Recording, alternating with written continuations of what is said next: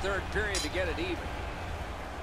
A good tie-up on the face-off That led to his team getting the puck. From the outside. Oh, Oh. Oh, oh my god, did you see that? Oh my God. around in the count. Oh, that's below.